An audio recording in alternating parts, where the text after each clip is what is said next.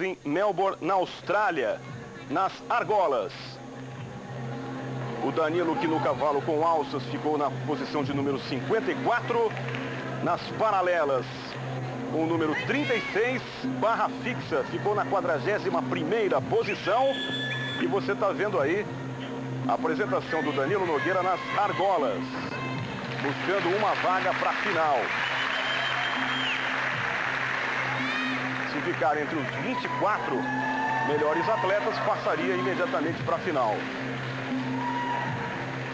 Você vai vendo todo o trabalho, crucifixo, e o Danilo Nogueira tentando buscar aí uma vaguinha para a próxima fase, né, para a final desse campeonato mundial de ginástica artística ou ginástica olímpica, como queira. Daí a saída cravada do brasileiro Danilo Nogueira.